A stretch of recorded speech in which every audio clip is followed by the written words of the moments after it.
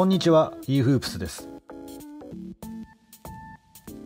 ディフェンス力向上のためスライドステップやクロスステップの動きを練習している人は多いと思います。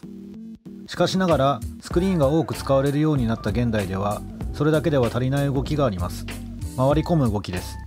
ポール・ファブリッツがドリルを通じて解説していますので見てみましょう。How can I get around things? Curvilinear running, getting around. That could get you paid millions of dollars because almost every play you're getting screened. So it's not all how I move side to side. How can I get around things? So your defensive drills could start with a slide or a crossover step. How do I get around and get back? I could go off a reaction.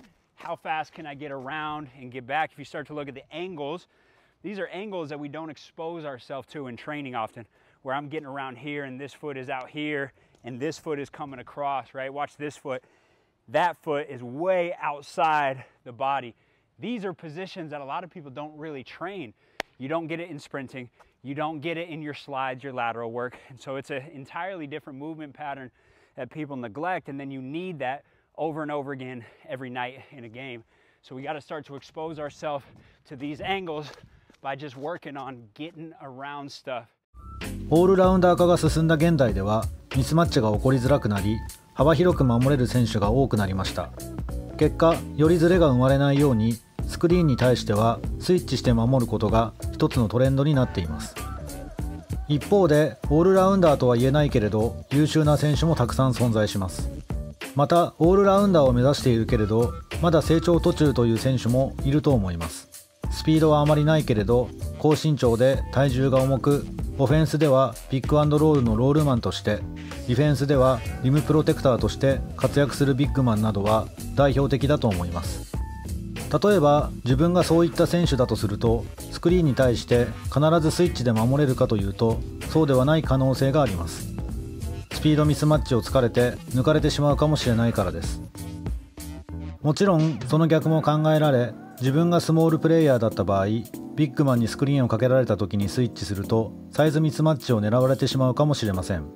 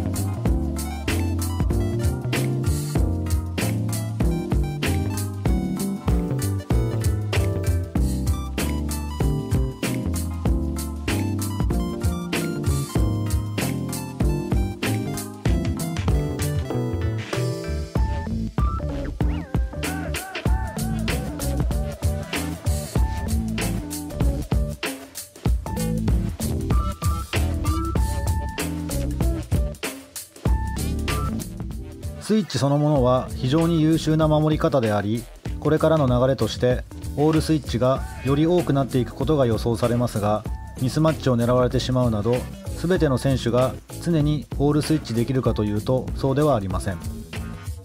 スイッチするわけにはいかない場合でもしっかりと守れるようになる必要があります。